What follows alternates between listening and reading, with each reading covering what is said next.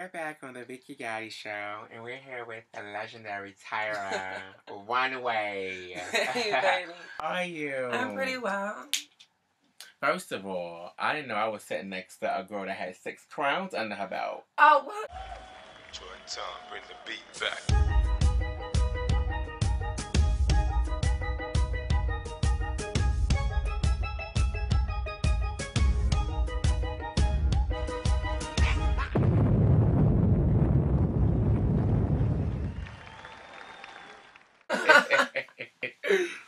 Um, it's it's, it's really not that you know. Well, it's a great accolade to have those crowns, but um, with those crowns comes responsibilities. hmm Um, my first crown was in 2000, Miss Auntie Anne's, uh, bar in Long Island. Mhm. Then I went on to um, Miss Coliseum 2001. Um, we had issues, so I never um, lived out that reign. hmm Um, I, I never completed the reign. Then there was Miss Washington D.C. Continental. Then there was Miss Black Gay International. It was a pageant thrown by a girl by the name of Tiffany Leclerc, Mm. and um, I have that crown. The pageant was never done again, so that crown still belongs to me. Um, So do you like have all your crowns like up somewhere in your home? or- yeah, they're up, they're up, but a few of my ball trophies, those Okay, that remain, you know. Um, yeah. Oh, and Miss Escuelita, um, and Miss Escuelita, two thousand five, Continental, two thousand five, and um, I'm still Miss Escuelita, Miss Escuelita. After all these years, I don't know if they'll ever do the pageant again, but Mhm. you know, Okay. Wow. that. So Whoa. I want to know. I really want to know, Tyra, what made you leave Mugler? Because you was the mother. At one I was the mother of the New York City chapter. Okay. What year? Oh my gosh. Um, was I like 2007, 8, somewhere around there? I'm I really don't recall. But um I did not feel like I was doing a good job as a mother. Mm-hmm. I had so many things going on in my life and trying to better myself that the type of mother that I wanted to be, Mm-hmm. I could not be. Right. So I was trying to convey this to the powers to be. And they still wanted to, me to be a part of it. We still wanted to really, you know, get through it. But um, due to some miscommunication, um, some I was on my way to a ball, mm-hmm. and I, I can't remember what ball it was, but I had worked at Splash that night, and I was just in the moment, and something was saying, you know, you look good, go to the ball mm-hmm. and something happened and I didn't end up going. And I got the no, I got the phone call saying that, um, why did you leave Mugler? And I'm like, I did not leave. They're like, well, this other girl just walked as the as the new mother of the New York City chapter. What upset me was that no one. I found it strange. No one called me um, to tell me about it, and I had to find out that way. Mm. So um, at that, I spoke with David, and it really, I it was a mix up. It was a misunderstanding, miscommunication. But at that point in time, it was my opportunity to say, I can bow out, and Right. not because I was. It was so much guilt, not making meetings, functions. It was. I, I felt really bad. Mm. Now you're a five thousand dollar girl. you definitely are. But it seemed like, and this is for all y'all. Sorry, I'm gonna keep it real. It's like the five thousand dollar goes after y'all win, y'all disappear or y'all take a break, and I just feel like sometimes it's like, well, no shit, you know, you got five thousand, you beat everybody. I mean, it's like, what else can you do? No, Did you feel like no. that, or like what happened after the five No, no, no. Um, actually, I really wasn't walking a lot before the five thousand. Mm-hmm. and I was working at the Bronx Community Pride Center with my daughter Sage. hmm So Sage encouraged me, and we were walking together. hmm You know, so I don't claim that five thousand. I claim it under my daughter Sage and I because she came up with the production. She came up with, you know, Shout out to Sage. yeah, and my baby's just so creative and so talented. So Mhm. I don't claim that five thousand for me. That was my daughter's and mine. Okay. Got you. What made you choose Allure? Um, Shout out to the house to Allure. I- Trophy. Actually, that was my first major house. hmm Um, first the name, and then I met my well, Shatira. I'm from Baltimore. I think she was a Revlon. She was my first mother, hmm and um, I met Ariel Lalong and Enrique. Ariel was Witch Queen and Drag's runway. hmm She was so sophisticated. God bless her soul. She was so sophisticated, um, tipsy, hmm At times. but um, Don't we all get a little tipsy? exactly. You know, but I'm just saying. I, I'm saying it because it was one of her qualities that I really admired. She could tip down the runway, tipsy. Mhm, You know, and she was so effective, so creative, Mhm, and she instilled value in me. You know, mhm. she kept saying, Look, I get up and I go to work every day. I do this every day. I do that. I have a life outside of, you know, the ballroom scene. And I adapted that. And Enrique being my father, you know, Mhm. Enrique Shout out became to my father. Enrique. And to this day, I still thank them for the guidance they gave me because I couldn't be here without meeting them. Mm. You know, I, Now, who deemed you legend? Um, because you know, I gotta ask you about the whole Janice and this legendary Um, crap that's going on in the ballroom. Um, first of all, I want to ask you who deemed who deemed you. you know what? I don't even know. You don't know. Work. I really don't. I was walking, and then by the time I turned around, it was like you're a legend. I never see the whole legendary thing to me. I never, I didn't participate in balls to be a legend.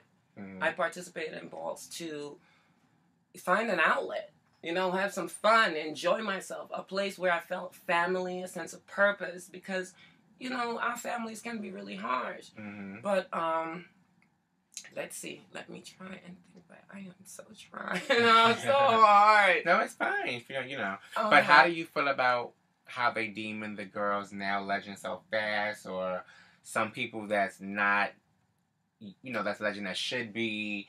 You know, how do you feel about all that that's going on, or do you even pay attention or care? No, I do care. Okay. And that's one of the reasons why I'm, I'm here Okay. with you. A legend is someone that has time and time again delivered something that has entertained the masses, hmm has done something that so so when we're talking legendary, like Patti LaBelle, they have she's a legendary singer. Right. Right? Her songs, she's legendary for singing. But Mhm. she's an icon because of the work that she has put into her community. Mhm. You understand where I'm coming from? Mhm. So today, I believe that people are deemed legends because they've just been walking a bunch of balls. Mhm. Or they have friends because sometimes I look at, especially when it comes to Vogue Femme, I look at some of the kids and it's sloppy. It's a mess. There are no lines, there's no presentation. The clothes are dirty. The it's it's it's no there's no cleanliness. When Baby and um when Eugene and those Shamal, even all those kids vote, it was clean. You know, you're Mhm. emulating femme queens Right. and you sh- you should have some major trophies under your belt some major moments Mhm. moments that people will stop and talk about Right. you know Mm-hmm. that when that you have created it so that now other people come by and they mimic your moves they emulate you you know i don't see a lot of that going on Right now. but I do hear a lot about le- this. I just think they're deemed legend way too fast, and they have lost the sense of what a legend is. But do you think this is what I, I want to ask you? Do you think that some of the older um, guys, or you know, still stuck in the past on how it used to be back in the day? Because you know, times change. Right. So how but it was back is more balls now. You can travel more. You know, it's kind of different, right? It's a you lot different. It's very different, and I applaud the difference now Mhm. because it shows that we are growing. Mhm. But if you're going to grow, grow. Don't get sloppy and tell me it's evolution. hmm okay and that's what i see a lot of okay and i really don't want to offend anyone No, keep going, Vicky Gotti. i just it's wow the older people need to really take a seat and really evaluate themselves, the things that they say, Mhm. and the way they carry themselves as role models. Because people are walking around here saying, I am legend, I am icon, but your actions are inexcusable, undesirable. You know, um, we are supposed to be the ones that are supposed to help guide the younger ones. And you're always going to have good and bad in every sector of society. But we need to now start taking account for ourselves and saying, look, this is messed up.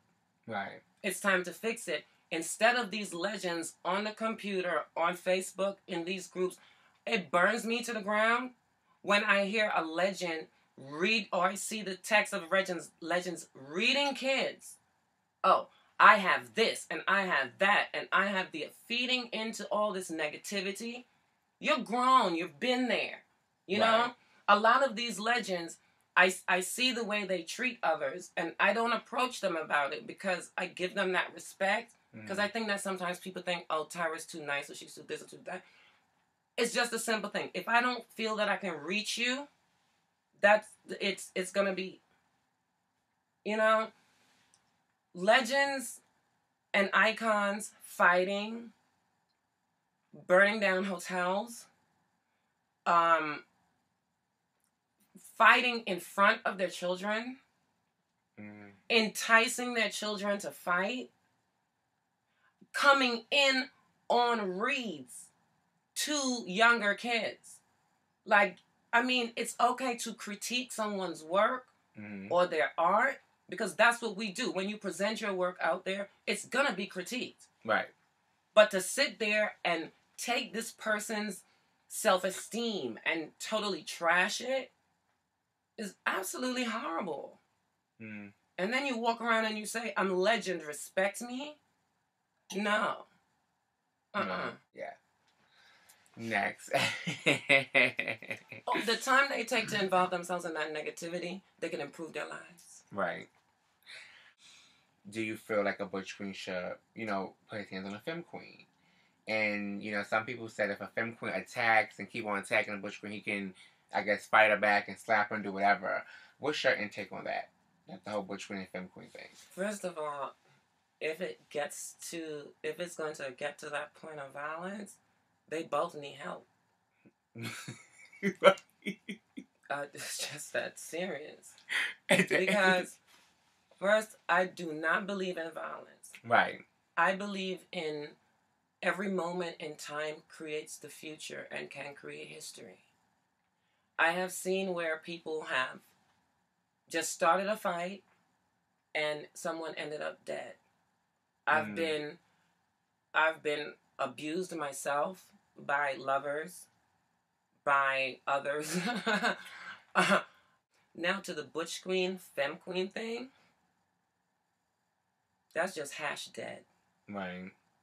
Well, moving right along, Tyra, are you in love? I love my husband. Oh my god, you have a husband? Yeah, Okay. I do. Okay. Um, Legally? do you see your face? No, I'm yes, legally. Oh. We have been married now for um, two years legally. Okay, congrats. Well, for what?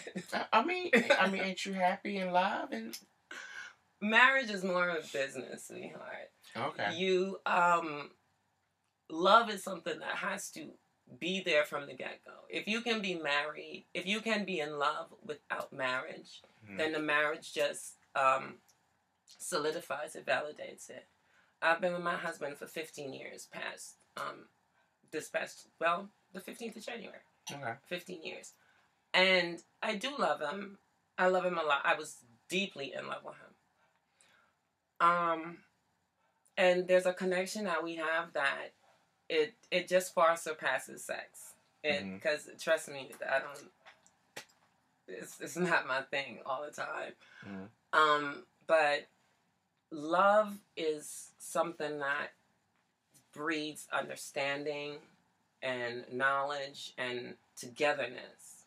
So And I know we're gonna come back.